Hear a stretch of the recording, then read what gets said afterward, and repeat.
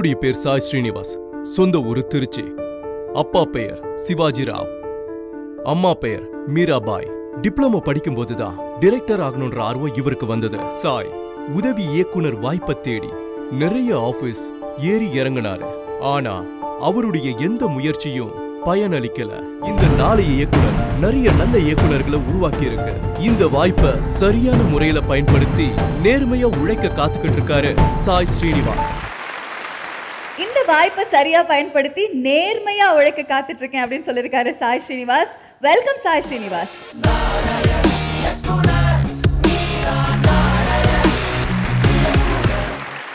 இன்னைக்கு என்ன ஜானர்ல நம்ம படம் பார்க்க போறோம்? ட்ராமா தான்.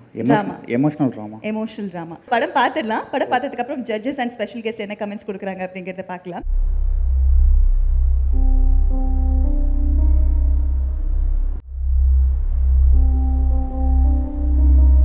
அடுத்த நிமிஷம் என்ன ஆச்சரியம் காத்துட்ருக்குன்னு தெரியாதது தான் வாழ்க்கை.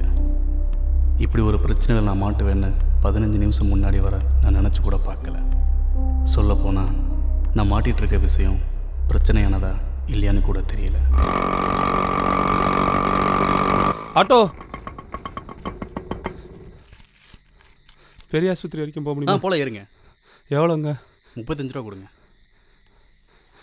இருபது ரூபானா வருமா? என்னங்க பையில பணம் இல்ல? தேட்டர் போனீங்களே சவாரி கிடைச்சிச்சா இல்லையா? பக்கத்து வீட்டில் கடையில கடை வாங்கி தான் சமைக்கிறேன். பிள்ளைங்கெல்லாம் அறவேறாதாங்க சாப்பிடுது.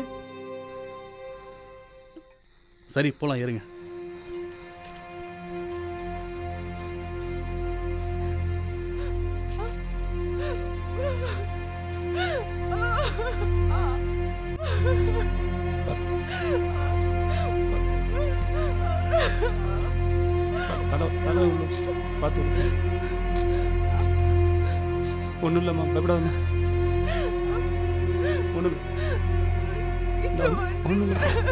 போயிட்டே யோ!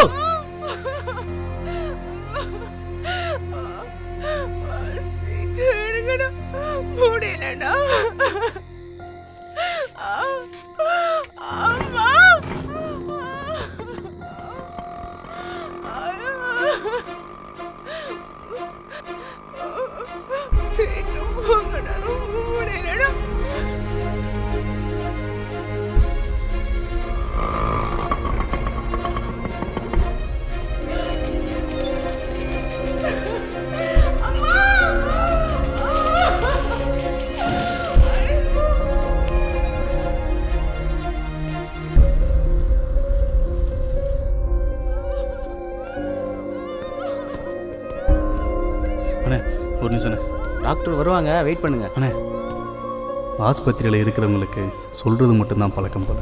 இவர் தான் அந்த பொண்ணோட ஹஸ்பண்டா கேட்கறது பழக்கமே இல்லை போல. எஸ் டாக்டர்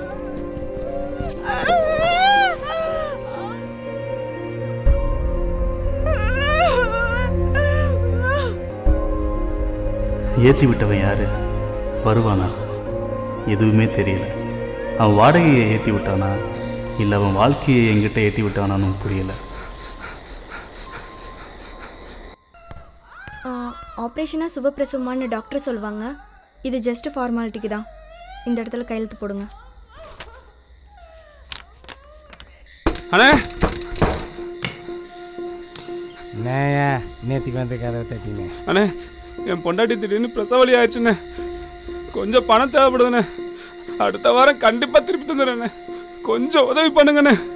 இப்படி தான் வலி வந்துச்சுன்னு போன வாரம் ஐம்பது ரூபா வாங்கினேன். அப்புறம் ஒன்றும் இல்லாமல் போச்சு. அப்படி தான் இதுவும். போய் தூங்குப்பா நீ வேற அண்ணே நம்புங்கண்ணே வேற அண்ணே. அண்ணே அண்ணே பணம் அண்ணே.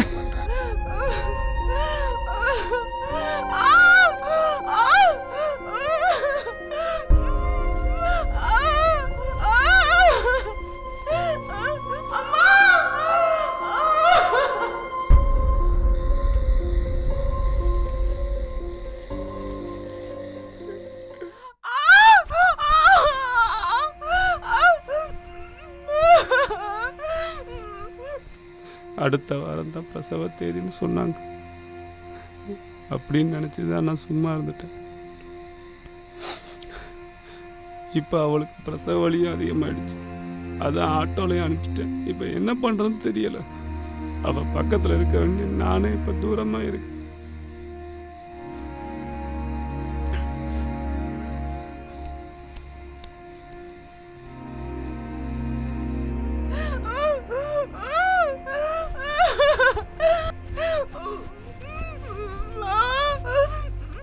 பயப்படாம போ. காலையில் மனைவியோட ஹாஸ்பிட்டல் வரேன். எல்லாம் நல்லதே நடக்கும்டா.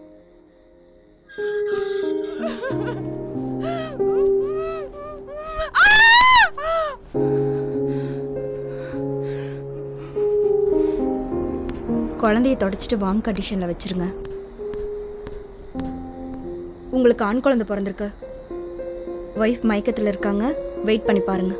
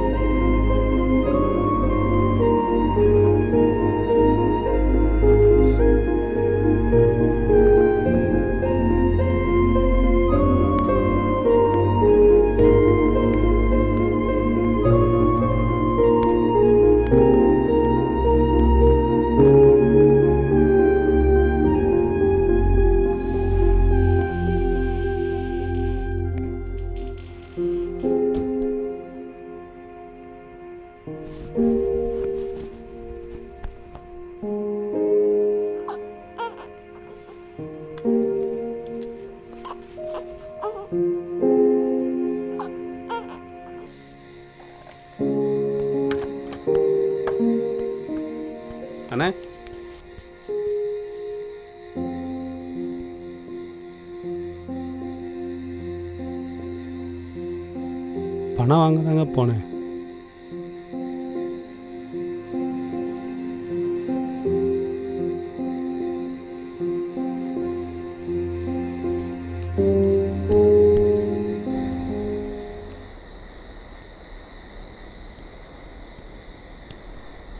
முடிஞ்சுங்க.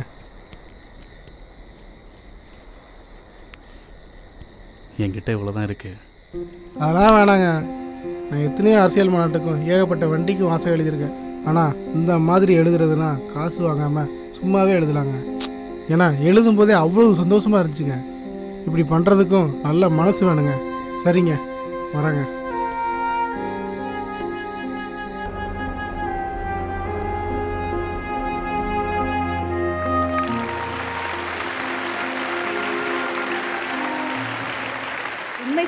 பார்க்கும்போது நிறைய விஷயங்கள் தெரிஞ்சுக்கணும்னு ஆசை இருக்குது பட் அதுக்கு முன்னாடி ஜட்ஜஸ் அந்த கேள்விகளை கேட்டால் ரொம்ப சந்தோஷமாக இருக்கும் அப்படிங்கிற ஆசை இருக்குது அண்ட் நம்மளோட ஸ்பெஷல் கெஸ்ட் கிட்ட முதல்ல ஒப்பீனியன் எடுத்துக்கலாம். சார் பிரசவத்துக்கு இலவசம் அப்படின்னு ஒரு ஆட்டோ அது வாசகத்துக்காக எடுக்கப்பட்ட ஒரு படம். நீங்கள் பேசும்போது ஃபஸ்ட்டு பேசும்போது ஒரு ட்ராமா ஃபிலிம் அப்படின்னு சொன்னீங்க.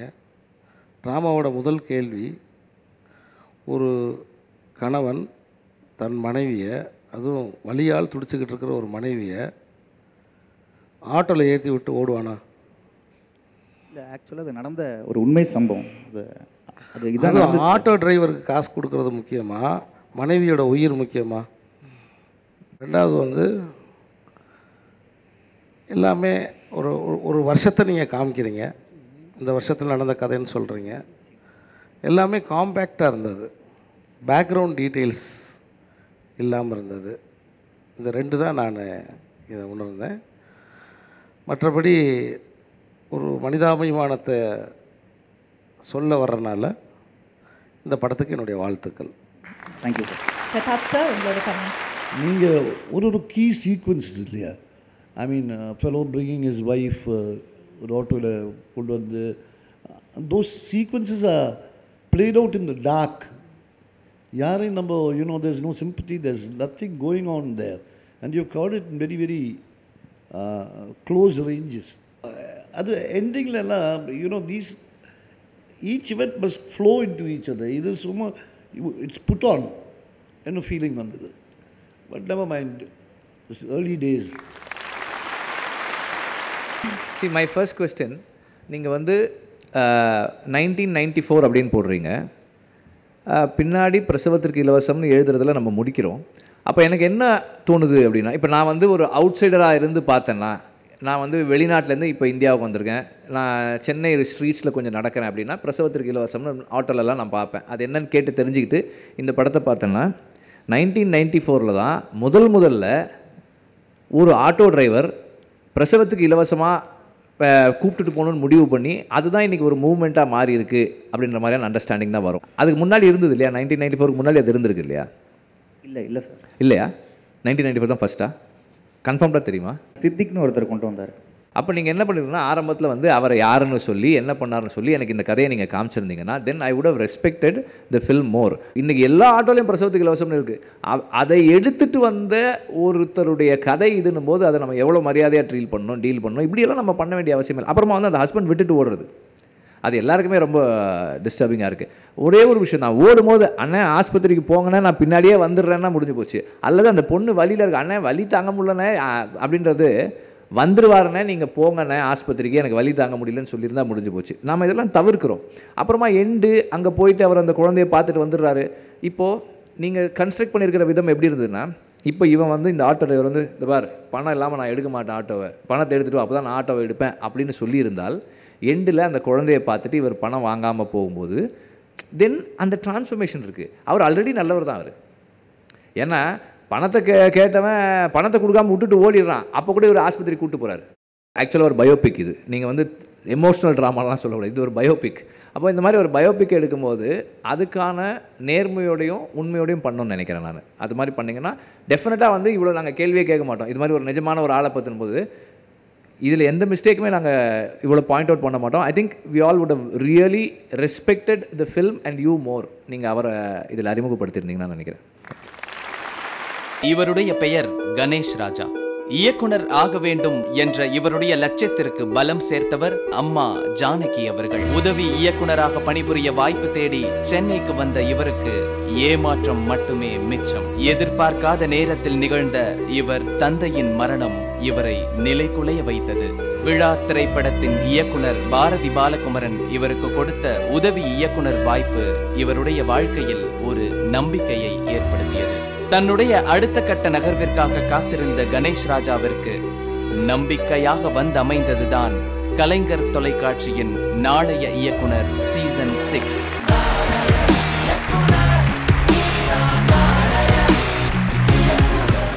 என்ன ஜானர்ல படம் பார்க்க போறோம்? கேங்ஸ்டர் கேங்ஸ்டர் அப்போ இது கரெக்டாக தான் இருக்கு. ஓகே கேங்ஸ்டர் ஜானர்ல படம் பேர் என்ன? ஒரு தோட்டாவின் கதை. ஒரு தோட்டாவின் கதை. லெட்ஸ் ஹேவ் தி ஸ்கிரீனிங் ஒவ்வொரு போலீஸ்காரன் துப்பாக்கிலேருந்து வெளியேற ஒவ்வொரு தோட்டாக்கு பின்னாடியும் ஒரு கதை இருக்கு.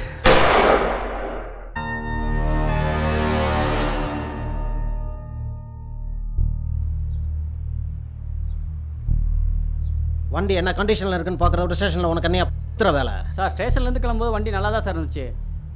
வர வழியில் டீ குடிக்க நிப்பாட்டும் போது செக் பண்ணேன் சார். டயர்லாம் நல்லா தான் சார் இருந்துச்சு. பத்து மணிக்கு போக வேண்டிய கோர்ட்டுக்கு ஒம்பது மணிக்கு நடு ரோட்டில் நிற்கிறோம் என்ன செய்யலாம் அரவிந்தன்? Sorry sir. சாரியை தூக்கி உன் ஜட்டிக்குள்ள வையா? எங்க? ஆளக்கானா யோ அக்யூஸ் எங்கயா? சார் சார் இவ்வளோ பெரிய சம்பவம் அடிச்சுக்கிறேன் இனிமேலாம் ஒன்றா கெத்தா இருக்குமா? அதெல்லாம் பயப்படாதீங்க. இந்த எஸ்ஐ தான் பேசவே மாட்டாரு வருதே. ஏன் சார் பேசவே சார்? என்னங்க ஆச்சு? இது வண்டி வந்துருக்கு சார்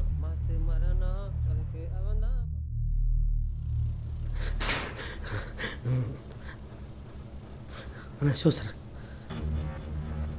என்ன பாண்டி? சம்பவம் அடித்து மூணு நாள் ஆச்சு. இவ்வளோ லேட்டாக வர. ஆனால் நான் லேட் பண்ணனா பார்த்தியா என் தம்பி அவங்க அண்ணன் போட்ட அதே தேதி அதே நாள் அதே நேரம் அதே இடத்துல அவனை போட்டானா?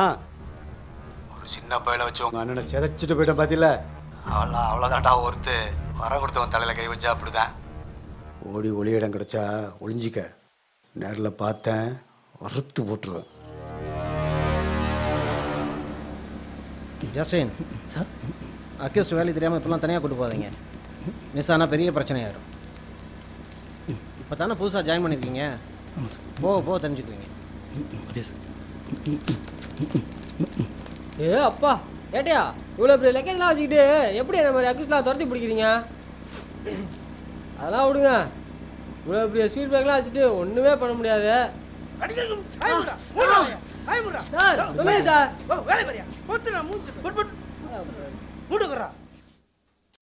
அவ்வளோதான்டா ஒருத்து. ஓடி ஒளி இடம் கிடைச்சா முடிஞ்சிக்க சின்ன பையில வச்சு உங்க அண்ணனை சிதைச்சிட்டு போயிட்ட பாத்தில நேரில் பார்த்தேன். அறுத்து போட்டுருவேன்.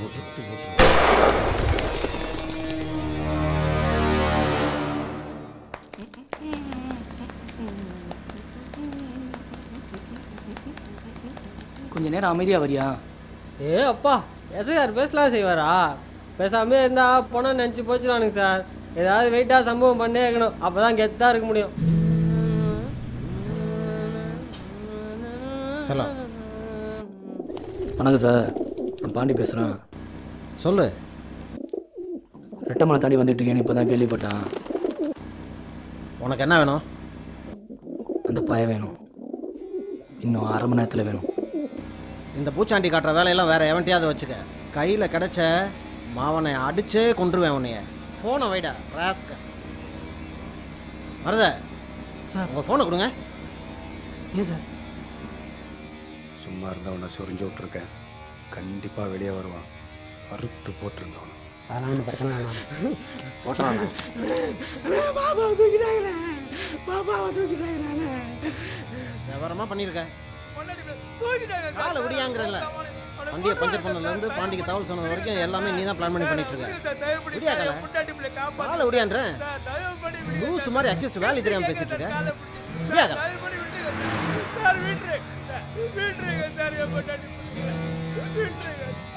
ஹலோ? டேய் டேய் என் பொண்ணை விட்டுறா டேய் இங்கே பாடுறா கொன்னே போடுவேன் உன்னை. விட்டுறா என் பொண்ணை விட்டுறா இப்படியே பேசிக்கிட்டு இருந்தா கழுத்து திரும்பி போட்டுருவேன். சொன்னதை மட்டும் செய். சரிப்பா யோ மருத வாயா வந்து வண்டியில் ஏறியா? இடத்த கட்டியா வாயா? உங்களுக்கு ஒரு நாய் எனக்கு ஒரு நாயமா. என் முன்னாடி உள்ள விட்டுட்டானுங்களா? சார் அக்யூஸ்ட் ரொம்ப வெளியே வேணும் சார். பார்த்து பார்த்து கொண்டு போங்க. ஆளப்பாரு ஹலோ சார் பாண்டி தான் வண்டி அனுப்பிச்சு விட்டான். வந்து வண்டியில் ஏறுங்க.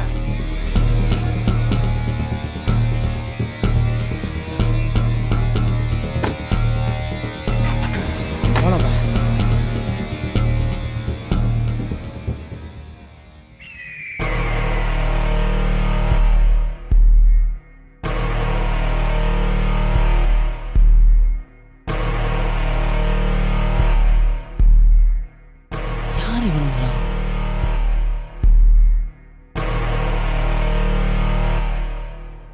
பொட்ட மாதிரி என் பொண்ணை பிடிச்சி வச்சு விளையாட்டு காட்டுறியாடா? ஆம்பளை இருந்தா வாடா. நேருக்கு நேர் மோதி பார்க்கலாம். டேய் டேய் டேய் பாபா டேய் டேய் டேய் டேய் ஓடி ஓடி ஓடி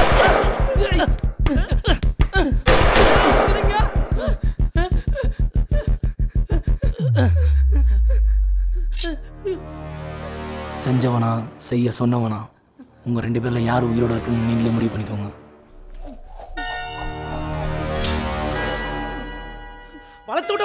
பாக்குறியா அண்ணன் பண்ணது துரோகம்டா அதான் அவனை போட்டோம் நீ இவ்வளவு நாள் உயிர் வாழ்றத அண்ணன் போட்ட பிச்சடா அவர் பணம் தூக்கி வச்சுட்டு டீல் பேசுறியா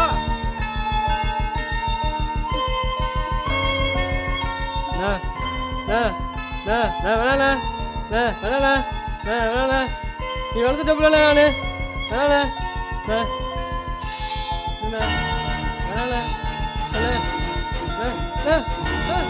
நே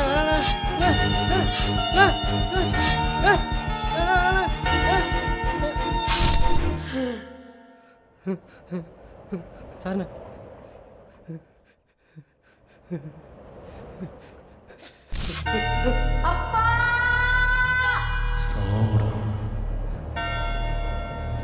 என்னடா பாத்துக்கிட்டு இருக்க போடுறா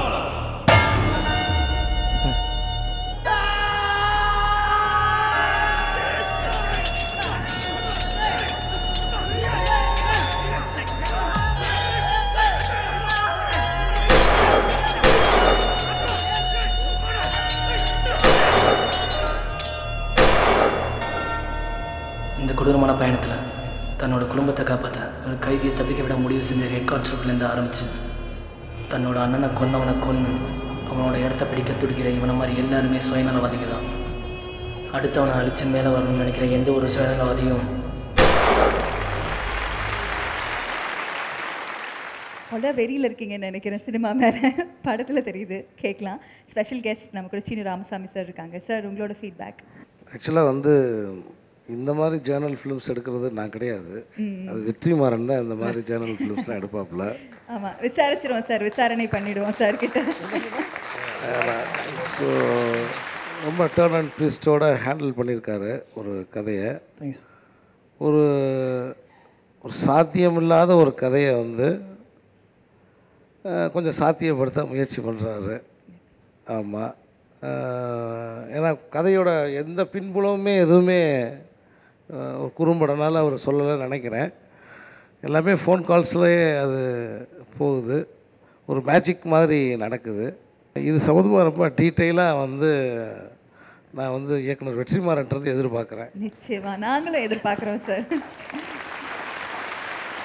பிரதாப் சார் உங்களோட கமெண்ட்ஸ் ப்ளீஸ் எனக்கு ரொம்ப பிடிச்ச அந்த blue skies did you DI did you yes sir did you colour it it was looking very nice and a little bit of ramping and uh, all these things show a little stylistics in the film.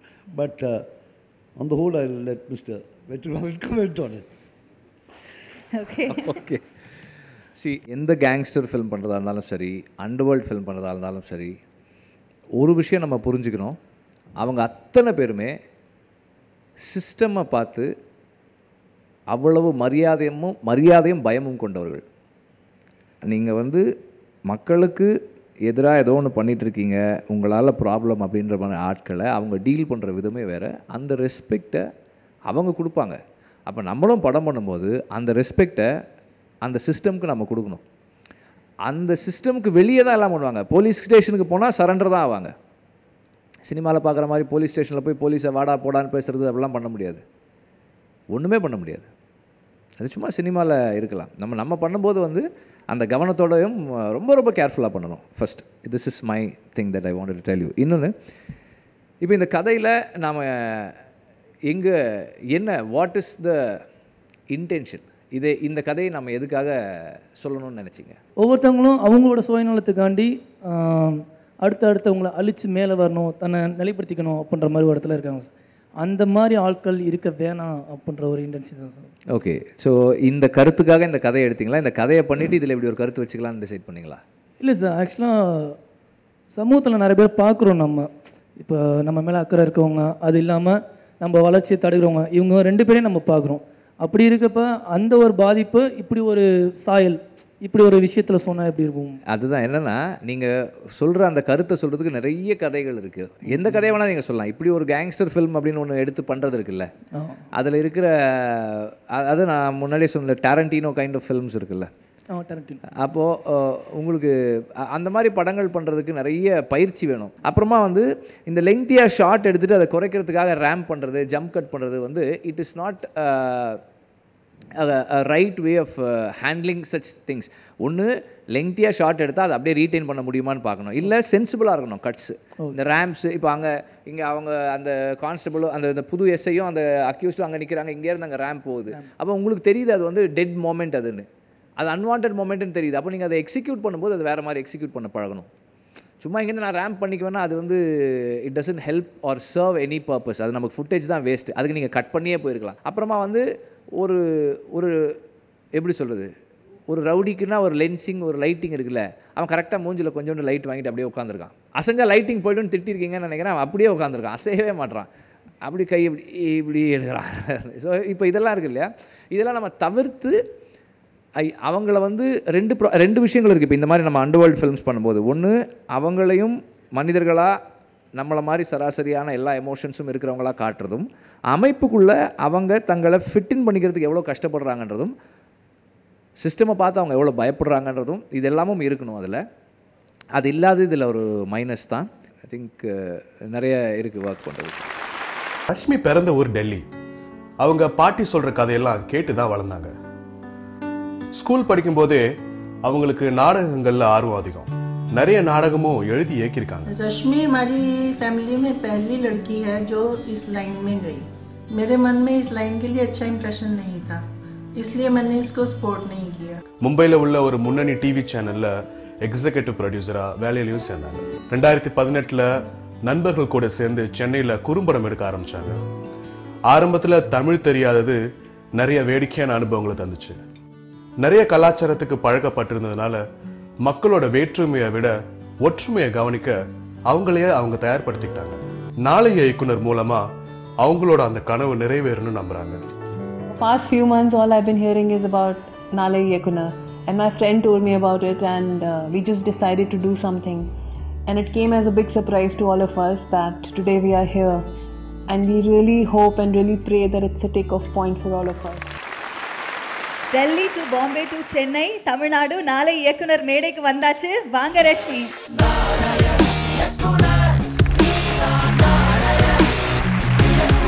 தமிழ்ல பேச முடியுமா உங்களால தமிழ்ல பேச முடியுமா? தமிழ் கொஞ்சம் புரியும். கொஞ்சம் புரியும். ஓகே நம்ம சினிமா பார்த்துடலாம் அதுக்கப்புறம் இன்னும் நிறைய விஷயங்கள் பேசலாம். ஓகேவா yo movie name the door in between the door in between the door in between முதல்ல பார்க்கலாம். தென் நம்ம ஜட்ஜஸோட கமெண்ட்ஸ் அண்ட் ஸ்பெஷல் கெஸ்டோட கமெண்ட்ஸ் எடுத்துக்கலாம். லெட்ஸ் ஹேவ் தி ஸ்க்ரீனிங் இன்னைக்கு நீங்க கேட்க போற கதை the door in between written by இது உங்கள் அர்ச்சனா. இன்னைக்கு நீங்க கேட்க போற கதை தி டோர் தண்ணி ஃபில் பண்ணிட்டியா? ஆ ஒரு டீ சொல்லிடு. இல்ல ரெண்டா சொல்லிடு. சாரி சாரி சாரி லேட் ஆயிடுச்சு. ஸ்டார்ட் பண்ணலாமா? வழக்கம் போல நீ ஏன் இப்போ கரெக்ட் டைமுக்கு வந்துடுற? லைஃப் கேன் வெயிட் ஆரம்பிக்கலாமா? ஓகே இன்னைக்கு என்ன? ரொம்ப ஸ்ட்ரேஞ்சான ஸ்டோரி இருக்கு. ஷார்ட்டாக ரெண்டே வரியில் சொல்லு. பேசிக்லி ஒரு பொண்ணோட தாட்ஸ் ஒரு ஆளா வந்து நின்னா எப்படி இருக்கும்? அதான் ஸ்டோரி எக்ஸாக்ட்லி நினச்சி பாரு. இப்போ உன்னோட தாட்ஸு ரத்தமும் சதையுமா வந்து பேசினா எப்படி இருக்கும்? சூப்பராக இருக்கும். எனக்கு என்னமோ பைத்தியக்காரத்தனமா இருக்கு. என்ன பைத்தியக்காரத்தனமாக இருக்கு? சி எல்லா ஸ்டோரிக்கும் ஒரு இன்ஸ்பிரேஷன் இருக்கும் சரியா? இது ஓகேயா நீ இந்த யோசனைலாம் எங்கேருந்து வருதுன்னு யோசிச்சு பார்த்துருக்கியா? Just imagine there is a parallel universe நம்ம இருக்கோம் அவங்க இருக்காங்க. நம்மளால் அவங்கள பார்க்க முடியல அவங்களால நம்மளை பார்க்க முடியல. Where to get all this தெரியலையே.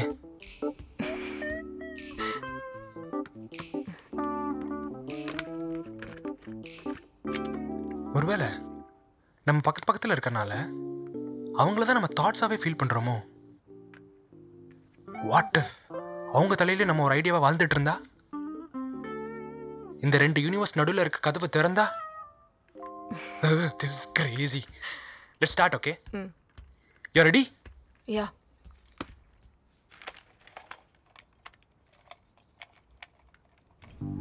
அவ ஒரு சுதந்திரமான பொண்ணு.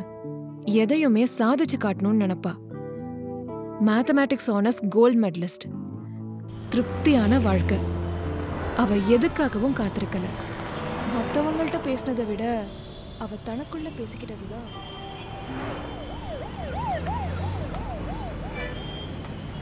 அப்படியா? பைத்தியக்காரத்தனமாக தோணுச்சு?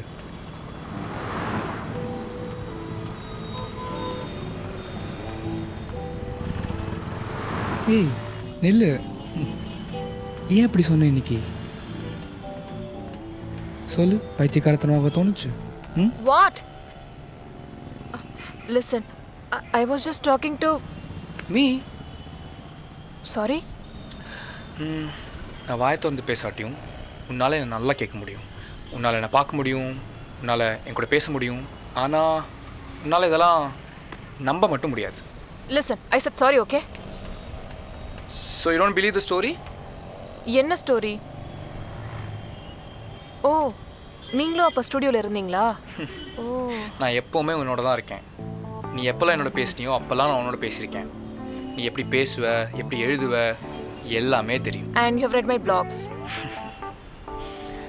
but when to ever write about what really matters to you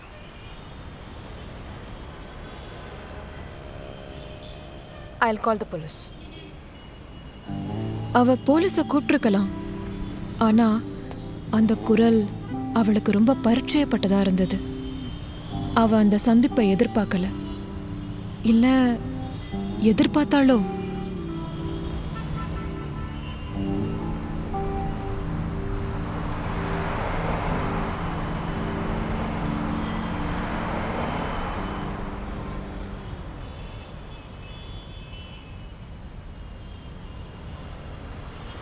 ஆக்சுவலாக வேடிக்கையாக இருக்குல்ல? நம்ம இந்த மாதிரி பிரிட்ஜில் மீட் பண்ணுறது அந்த பக்கமும் இல்லை இந்த பக்கமும் இல்லை. இப்போ ஏன் வந்த? இப்போ ஏன் வரக்கூடாது? நீ தான் எப்போவுமே தேடுறியே. கூட்டத்தில் தேடுற தனியாக இருக்கும்போது தேடுற ஏன் குடிக்கிற டம்ளரில் கூட தேடுற. ஸோ ஜஸ்ட் லைக் தட் அப்படியே வந்துட்டியா? ஆமாம்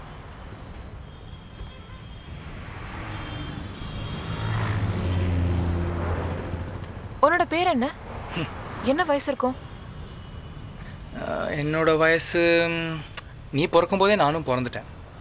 நம்ம பேச ஆரம்பித்து ஏழு வயசானப்போ சி நீ இருக்க. அதனால தான் நானும் இருக்கேன். ஸ்டாப் ரொம்ப கன்ஃபியூசிங்காக இருக்கு. இதெல்லாம் எப்படி நம்புறது. அண்ணா உனக்கு நம்பணும்னு தோணுதா?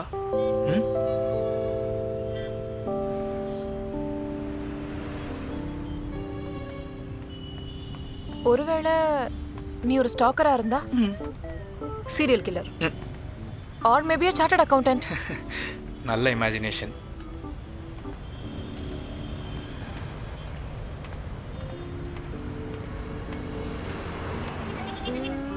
தண்ணி மேல நடப்பியா?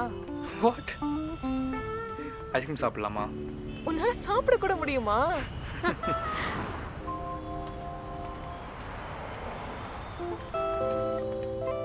அந்த கதவும் திறந்துச்சு. அவனும் வந்தான். அவ யோசிச்சதெல்லாம் அவன் கூடவே வர சொன்னா அவ அந்த கதவை கடந்து போவாளா? போதும் டயர்டா இருக்கு. ஏய் நல்லா போயிட்டு நாளை காலையில கண்டிப்பா.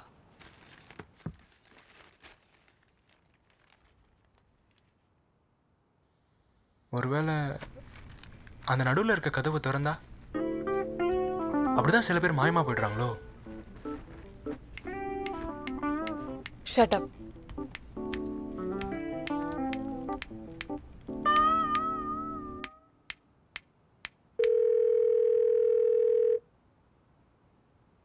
எப்பவுமே ஷாப்பாக வந்துடுவாங்களே என்னாச்சு எனக்கு தெரியலையே.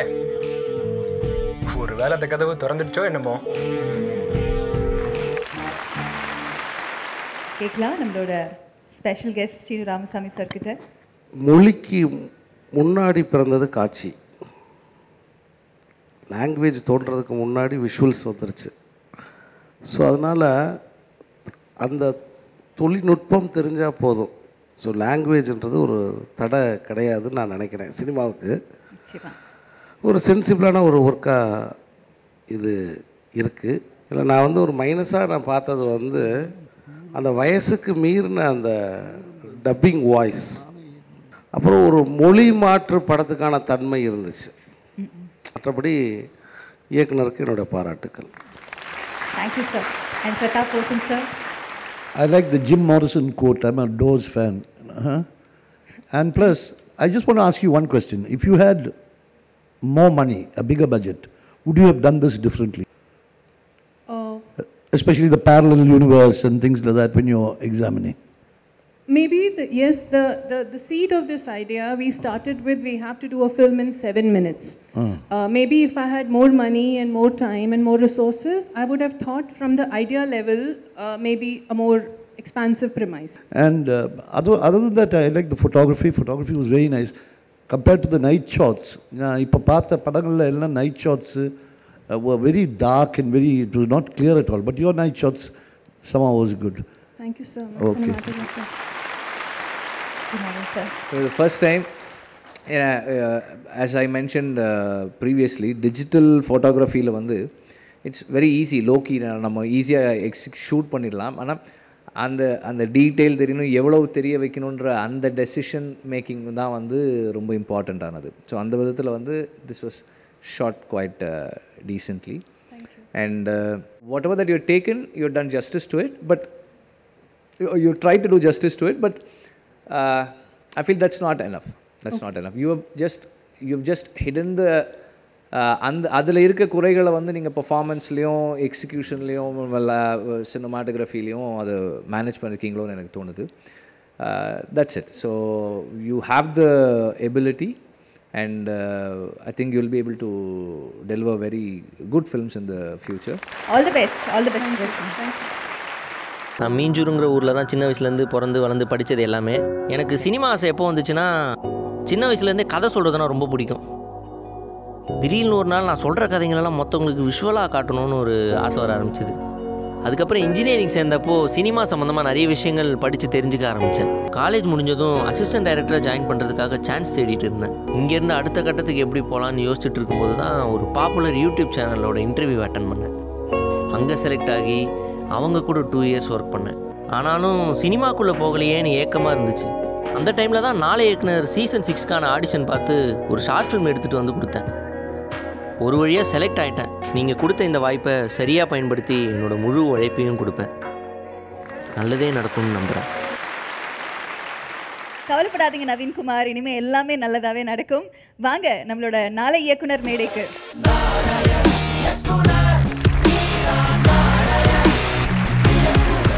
போஸ்டர்லாம் அடிச்சு ஒட்டி படம்லாம் எடுத்து ஒரு பயங்கரமான ஒரு பிரபலத்துக்கிட்ட தான் நான் பேசிட்டு இருக்கேன்னு நினைக்கிறேன். அதை பத்தி கொஞ்சம் சொல்லுங்களேன். ஒரு டிஜிகேம்ல ஒரு ஃபிலிம் ஷூட் பண்ணி அதுக்கான ப்ரமோஷன் ஒர்க்லாம் அவர் ஆல்ரெடி பண்ணிட்டு இருக்காருன்னு கேள்விப்பட்டேன். இல்லை டென்த் ஸ்டாண்டர்ட் படிக்கிறப்போ ஒரு மூவி எடுத்தோம் நாங்களே ஃப்ரெண்ட்ஸ் எல்லாம் சேர்ந்து. அதுக்கு ஒரு போஸ்டர் நாங்களே ரெடி பண்ணிட்டோம். இன்று முதல் சத்யம் சினிமாஸ் ஐநாக்ஸ் அப்படின்னு சொல்லி இசை வெளியீடு விரைவில் அப்படின்னு போட்டு அப்போ ஒரு கற்பனையில் அப்போவே வாழ ஆரம்பித்தோம் ஒரு கலைஞனாவே வாழ்ந்துட்டு இருக்கீங்க இல்லையா? அப்படியே நினச்சிட்டு வாழ்ந்து வந்து ஏதோ ட்ரை பண்ணிகிட்டே இருக்கோம். ஸ்கூலில் எங்களையும் டைரக்டர் நம்பிட்டாங்க. ஓகே அந்த நம்பிக்கையை நீங்க ஸ்கூல்ல கொடுத்துட்டீங்க. இங்க அந்த நம்பிக்கையை கொடுக்குறீங்களா இல்லையான்னு செக் பண்றதுக்காக ஒருத்தர் வந்திருக்காரு. கூப்பிடலாமா? Let's welcome his father and mother on stage please. என் தோளை தாண்டி வளர்ந்ததனால் என் தோழன் நீ அல்லவா? என் வேள்வியாவும் வென்றதனால் என் பாதி நீ அல்லவா? இப்போ அந்த ஸ்டேஜுக்கு வந்துட்டாரு. என்ன சொல்ல ஆசைப்படுறீங்க? டென்த்து டைமில் வந்து கேமரா எனக்கு வேணும். என்ன அப்போல்லாம் வந்து அது இப்போ இருக்கிற மாதிரி நாலாயிரம் அஞ்சாயிரத்துக்குலாம் கிடைக்காது. ஒரு சிக்ஸ்டீன் டுவெண்ட்டி தௌசண்ட் அது மாதிரி கொஞ்சம் காஸ்ட்லி அப்புறம் ஃப்ரெண்டுங்க கிட்ட எல்லாம் பேசி ஒரு கல்யாணம் விசேஷத்துக்கு நாங்கள் ஒரு ஃபோட்டோ எடுக்கணும்ப்பா. பண்ணி கொடுப்பா அப்படி சொல்லி இவங்ககிட்ட அதுவும் ஒரு நாள் தானே கொடுப்பாங்க. ஆனால் இவர் வந்து ஒரு அப்படி எடுத்துட்டார் ஒரு வாரம் பத்து நாள். டென்த்து ஸ்டாண்டர்ட் படிக்கும்போது ஏதோ விளையாட்டு கேட்குறாங்கன்னு சொல்லி கொடுத்த உடனே இது மாதிரி ஒரு கதை வசனம் டைரக்ஷன் எல்லாம் ப்ரிப்பேர் பண்ணி ஒரு ஒரு ஃபார்ட்டி ஃபிஃப்டி மினிட்ஸுக்கு ஒரு படம் எடுத்து வச்சுட்டாங்க. விளம்பரம்லாம் பண்ண ஆரம்பித்தாங்க இந்த மாதிரி நான் படம் ரிலீஸ் பண்ண போகிறேன் நவீன் குமார் தி டைரக்டர் அப்படின்னு மூவியோட பேர் என்ன? இன்னைக்கு நம்ம ஸ்க்ரீன் பண்ண போறோம் காக்காவும் நரியும். காக்காவும் நரியும். ஓகே ஸோ காக்காவும் நரியும் பார்த்துட்டு நிறைய விஷயங்கள் பேசலாம் sir let's have the screening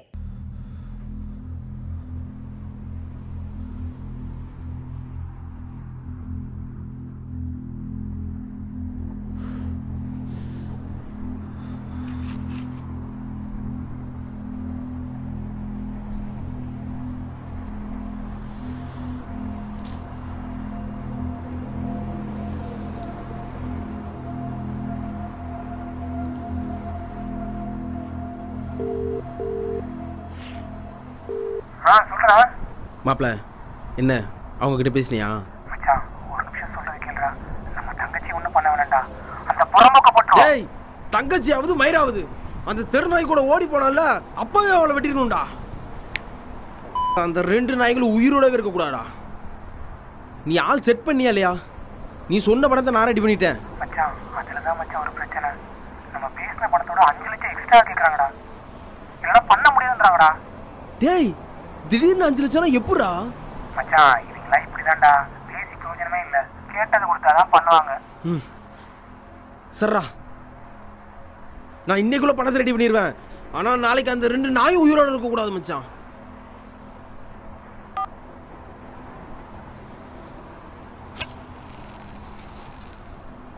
குடும்ப மானத்தை வாங்கிட்டு ஓடி போவா? இவளை மன்னிச்சு விடணுமா? அம்மா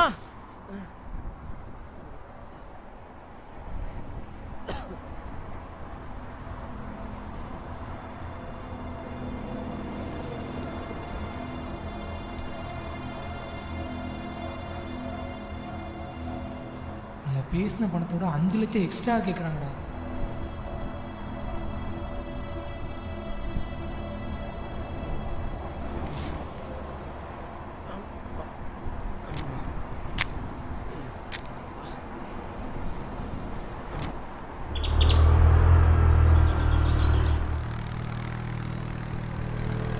ஹாஸ்பிட்டல் இருக்கேன் சார்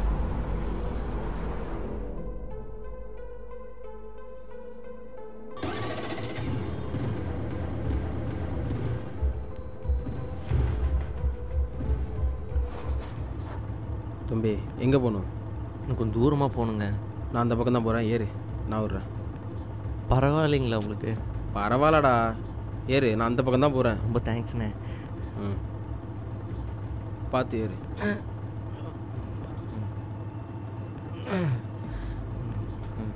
பேக் ஒன்றா கொடுறா முன்னாடி இல்லை வச்சுக்கிறேன். பரவாயில்லைங்கண்ணே நான் வச்சுக்கிறேன்.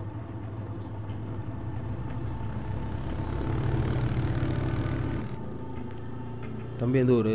நானாண்ணே சீமா வரோண்ணே சீமா வரன்ற இந்த பக்கமாக போயிட்டு இருக்க அம்மாவை ஹாஸ்பிட்டல் அட்மிட் பண்ணியிருக்காங்கண்ணே. அதான் ஆப்ரேஷனுக்காண்டி பணம் கொண்டு போயிட்டுருக்கேன். பணமா? ஆமாண்ணே. ம்.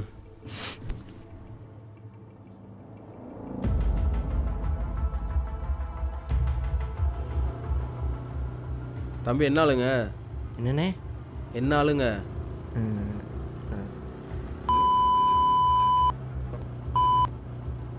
நம்ம சாதிக்காரனா?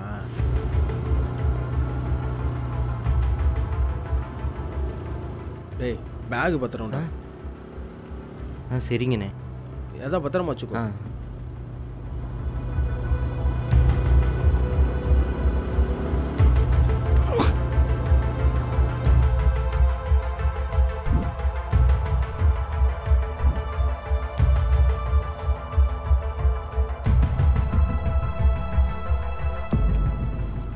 அண்ணே என்னப்பா? அந்த சர்வீஸ் ரோட்டில் நிறுத்திக்கோங்கண்ணே.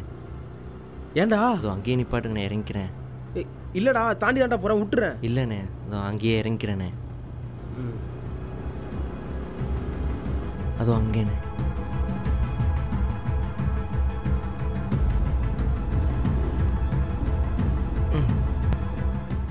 தேங்க்ஸ்ண்ணே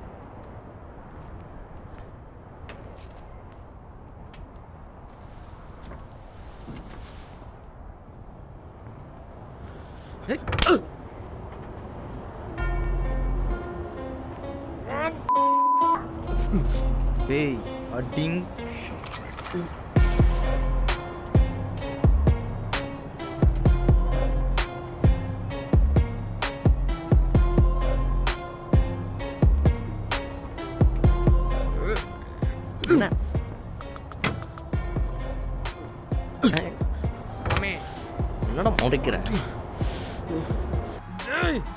ஐயோ நானும் ஓ சதி தான்டா.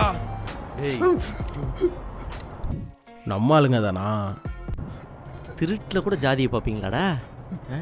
இப்போ உன் ஜாதி உன்னை காப்பாற்ற பார்க்கலாமா நானும் என் கண்ணுன்னு நினச்சாதான் அவன் காப்பாற்ற முடியும். புரியுதா? ஏய் எடுறா பேக்கெட் செயின் என்னடா? என்ன சவுண்டு மச்சான் தூக்குடா அவன் பைக்கை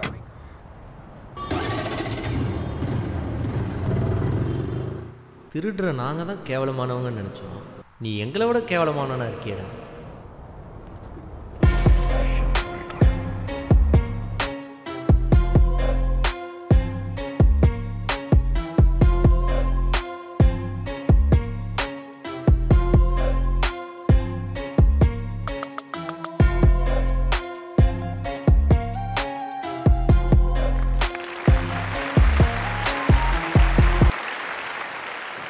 As a director cum as an actor ரெண்டுத்துக்கு மேலே ஃபீட்பேக்ஸ் நீங்கள் கொடுக்கணும். அவர் எப்படி பெர்ஃபார்ம் பண்ணியிருந்தாருன்னு.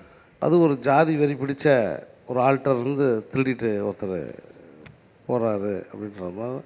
அது என்னன்னு எனக்கு தெரியல எனக்கு அந்த இடத்துல. அந்த இடத்துல சரியாக எனக்கு பிடிபடலை. மற்றபடி அந்த பறி கொடுக்குறாரு இல்லையா? அவர் ரொம்ப பிரமாதமாக நடிச்சிருந்தார். ஹைவேஸில் நடக்கிற கதையை இன்னும் கொஞ்சம் ஜாக்ரஃபிக்கலாக கொஞ்சம் எஸ்டாப்ளிஷ் பண்ணியிருக்கலாம். அப்படிங்கிறது ஓகே நவீன் கேட்கலாம் பிரதாப் சாரோட கமெண்ட்ஸ் அந்த பிகினிங் ஸ்டேஜஸ் யூனோ ஒருத்தர் அங்கே உட்காந்துட்டு இருக்கா இவன் வந்து பார்க்குறான் those those bits bit sticky okay Other than that, you had a good twist in the end, and especially casting. நீங்கள் அந்த the fellow who was going to kill his uh, sister, அது கொஞ்சம் கூட you should have put him in your age back bracket, you know. Then it will look much better. Vetri say.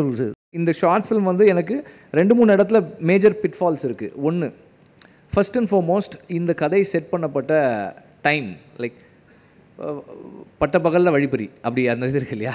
அந்த பட்டப்பகல் வழிப்பறிக்கு வந்து அது it it is not adding எனக்கு interest வரலை எனக்கு. மேபி ஒரு ட்வைலைட்டில் இருந்திருந்தாலோ இதில் இருந்தால் நல்லா இருந்திருக்கும். இன்னொன்று ஒரு ஹைவேல எங்கேயோ ஒரு இடத்துல ஹைவேல நடு ரோட்டில் ஒருத்தன் நின்று ஃபோன் பண்ணி பேசிகிட்டு இருக்கான். நடு ரோட்டில் நிற்கிற ஒருத்தனை தற்செயலாக ஒருத்தன் வந்து அவன் பார்க்குறான். இன்னொருத்தன். இப்போது இவன் வந்து இப்படி ஒரு நீடில் இருக்கான். இவனுக்கு வந்து ஒரு இவங்கிட்ட கை இவன் கையில் காசு இருக்குது ஃபஸ்ட் பாயிண்ட் அடுத்தது இவனை ட்ராப் பண்ணுறதுக்கு இப்போ என்கிட்ட காசு இருக்குது என்கிட்ட நான் ரெண்டு லட்ச ரூபா என் பாக்கெட்டில் நான் வச்சுருக்கேன். ஆனால் உங்கள் கையில் நான் அஞ்சு லட்ச ரூபா உங்கள் கையில் ஒரு அஞ்சு லட்ச ரூபா பார்த்தா நான் திருடுவேன் திருடணும்னு எனக்கு தோணாது எனக்கு. அப்போது எனக்கு ஒரு தேவை இருக்குன்றது உங்களுக்கு தெரிஞ்சாதான் நீங்கள் அந்த பணத்தை காமிச்சு அந்த ட்ராப்பாக செட் பண்ண முடியும். செட் பண்ணி என்னை எடுக்க முடியும். அதுக்கான டைமிங் இப்போ இந்த திருடுறவனுக்கு வந்து எப்படி தெரிஞ்சுது அவனுக்கு அந்த காசு தேவைன்றது? அப்புறம் இன்னொன்று பார்த்தீங்கன்னா அவன் ஃபோனில் பேசும்போது அவ்வளோ கான்ஃபிடென்ட்டாக சொல்கிறான் விட்றா நான் இன்றைக்கி சாயங்காலத்தில் அந்த பணத்தை ரெடி பண்ணுறேன் எப்படியாவது அதை நீ பண்ணணும். என்னால் இந்த பணத்தை ரெடி பண்ண முடியாது அப்படின்னு அவன் சொன்னாதான் இந்த பணத்தை அவன் திருடுறதுக்கான ஒரு இது வந்து இன்னும் கன்வின்சிங்காக இருக்கும். அப்போ அது இல்லை அதில். அது கன்வின்சிங்காக இல்லை. பாலமேந்திர சார் சொல்லுவாங்க இந்த டைட்டில் இருக்கிறதால சொல்கிறேன் பாலமேந்திர சார் வந்து ஃபிலிம் டைரக்ஷன் பற்றி சொல்லும்போதே வந்து காக்கா வடையை தூக்கிட்டு போன கதையில் தான் சொல்லுவாங்க. அப்போ என்ன சொல்லுவாங்கன்னா ஒரு ஊரில் ஒரு பாட்டி வடை சுட்டுக்கிட்டு இருந்தாங்க. இம்மீடியட்டாக கதையை கேட்டிருக்க குழந்தை ம் அப்போ ஒரு காக்கா வந்து உட்காந்துச்சு. ஆ ஸோ இப்போ ஒரு ஊரில் ஒரு பாட்டி வடை சுட்டுக்கிட்டு இருந்தாங்க. குழந்த ஊன்னு சொல்லிடுச்சு ஏன் சொல்லுச்சுன்னா அதுக்கு வந்து அது ஊர் அது பாட்டி வடை சுடுறது அதுக்கு தெரியும். ஆனால் ஒரு டைரக்டர் வந்து இதை படமாக பண்ணணும்னா ஒரு ஊரில் ஒரு பாட்டி எந்த ஊர்? அது வந்து பாலைவனமா?